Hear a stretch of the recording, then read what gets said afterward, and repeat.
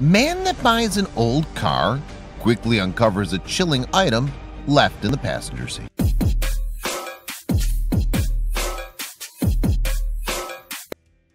Like the thrill of buying a new car, and even if it's used, hey, it's still new to you. Sure, it'll take some time to air out the smells of the previous owner, but you can bet that as soon as you drive off the lot, that car is all yours. Well, most of the time you can. When one Georgia man found a listing online for a highly sought-after vintage car, he immediately hit the road, hoping to add it to his collection. However, as soon as he opened the door, he discovered that the original owner left behind a chilling item that was impossible to ignore. Coming from a family of auto shop owners, Zach Taylor was practically born loving cars. From those early days on, Zach began acquiring quite the collection of automobiles. But he had his eyes on one in particular. Even with a garage jam-packed with collectible cars, there was one vehicle that had eluded Zach for most of his adult life, the 1968 Ford Mustang Fastback. And given the car's unique history, its lack of availability should come as no surprise. An updated version of the redesigned 1967 model, the 68 Mustang, became an American icon thanks to its role in the Steve McQueen classic Bullitt. Car collectors were relentless in their pursuit of the legendary model. This made Zach's life difficult, but he wasn't willing to give up on his search. And in July of 2017, his determination finally paid off. Browsing Craigslist one afternoon, Zach stumbled upon a 68 Fastback for sale in nearby Franklin, North Carolina. Before he could talk himself out of it, Zach was already on the phone with the seller, who explained he listed the car for a friend who didn't have internet access. The intermediary then put Zach in touch with the actual seller, who invited him to North Carolina to check the vehicle out for himself. With childlike giddiness, Zach hopped in his car and began the two-hour drive to Franklin, all the while picturing what the Mustang would look like parked in his collection. Sure, the car would need a ton of TLC to restore it to its former glory, but Zach was willing to put in the extra work to make his dream a reality. When he finally arrived at the small North Carolina farm, Zach pulled up to an old barn where he found the Mustang waiting for him. There he met the car's owner, Bruce, who gave him a little more insight into its history. According to Bruce, the Mustang was originally owned by his lifelong friend, James, though it had been years since the car was in working condition. In fact, the Mustang had actually sat under a tree in the hot Florida sun for decades before Bruce got it. Sadly, James had passed away a few years prior, and with his family looking to sell the car, Bruce happily purchased it from them. Since then, the Mustang had sat untouched in the shady shelter of Bruce's barn. With such a unique story behind such a unique vehicle, purchasing the car seemed like a no-brainer for Zach. He began looking the car over, and after finding the exterior in pretty decent shape, he decided to take a look inside. The interior was a little more worn than he'd expected, but with a little time and effort, this bad boy would shine up brand spanking new. But as he continued to examine the car, he noticed an unusual feature that certainly hadn't come factory installed. Resting in the passenger seat was a small mason jar filled with a strange white powder and labeled James. Puzzled, Zach turned to Bruce and asked what the peculiar object was. His response? That's James.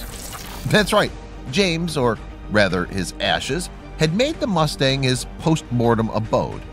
Zach was completely shocked by the revelation, and even after the weight of Bruce's words had settled on him, the decision to buy the car or not was tougher. Ultimately, he decided not to buy the car. Believing this 68 Fastback to be a lost cause, Zach resumed his search, though the very next morning Bruce rang him and casually spoke about his friendship with James.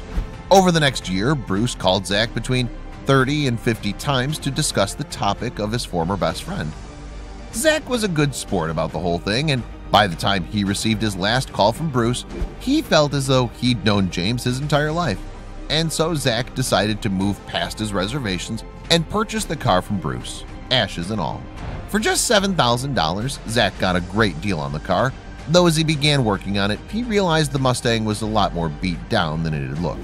It was a tough decision, but in the end, Zach sold the car to a buyer he knew who would make James proud. That buyer turned out to be Colin Budden, owner of Corner Classics on the Isle of Wight off the coast of England. Budden and his team had successfully restored 25 vintage Mustangs over the years, and with a little elbow grease, he hoped to make James number 26. Budden began restoring the car for a client, working to replace the Mustang's rusted body.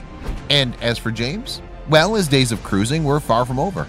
But this time around, James' ashes weren't going to sit in the passenger seat.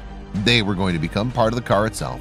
Budden hoped to incorporate the remains into the vehicle's chassis before the build was through, allowing James to continue to ride until the end of time. Yet not all discoveries made after purchasing a used item turn out to be as morbid as a jar full of the previous owner's ashes. Zach wished he'd gotten a hand-me-down as lucrative as the one found by Lara Russo, Kelly Guasti, and Reese Werkhoven. As they settled into their new apartment, these three roommates knew they had tons of unpacking and chores to take care of.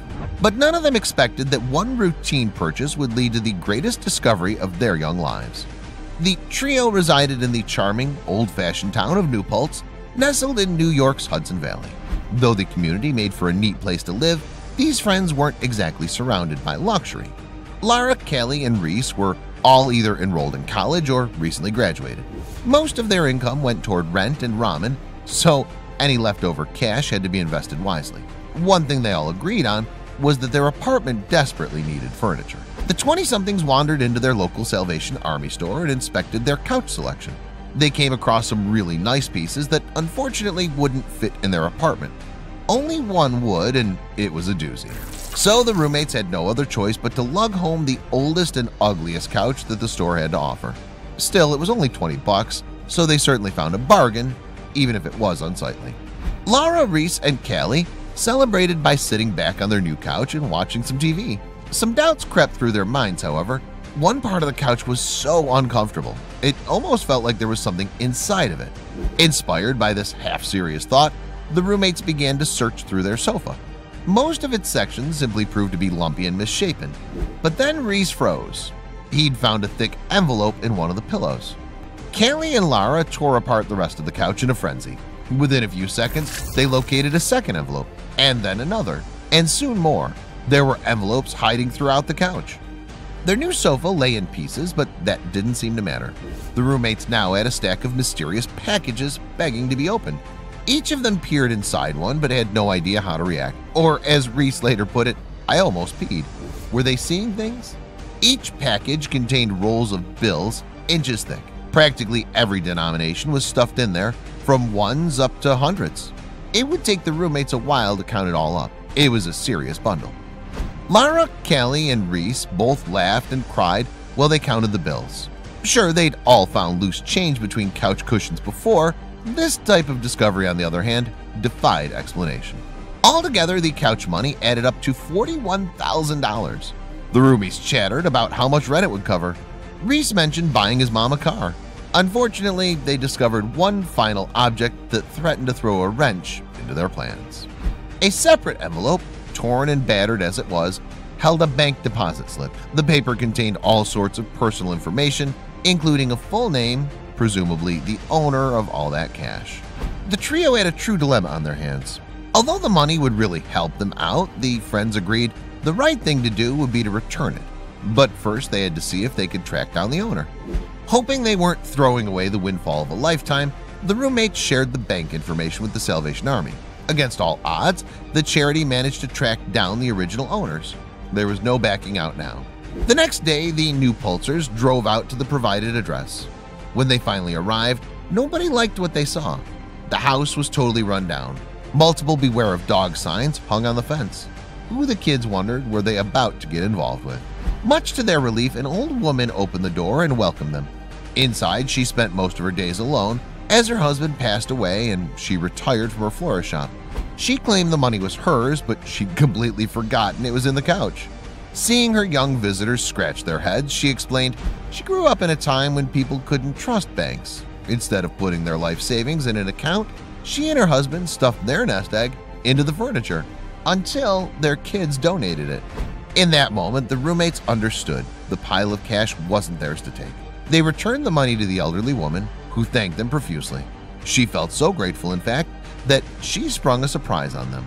She allowed the roommates to keep $1,000 as a finder's fee.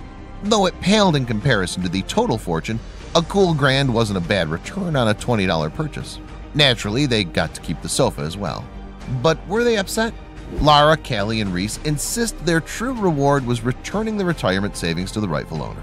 Most others would have spent all the cash or failed to find it at all, but these pals could rest easy, literally and figuratively, knowing they did the right thing. These friends aren't the only people who found something unexpected at a thrift store. Those who bought these items didn't realize at first just how much they were really worth, but when they did, it was life